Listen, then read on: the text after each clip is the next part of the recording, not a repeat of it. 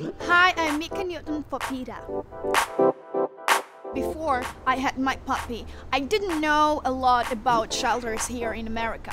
In Ukraine, we have a huge problem with the homeless dogs, with the homeless animals. And I think we are singers and uh, and famous people, we have to talk about it more. What I really love about animals to observe them.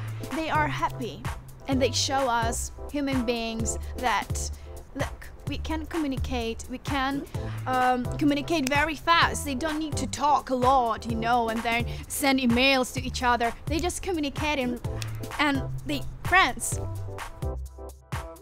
We came to the earth like equal animals and people and people just i don't know what they thinking about themselves that they know that they can be hard and be like very very cruel because you think that this is just an animal. He cannot talk or she cannot talk you know and i can do wherever i want. I'm really aware about this problem and i think this is like really very very very huge problem. I just want to ask everybody who is watching right now to go to just visit uh, PETA website and uh, be aware what's going on right now on this planet Thank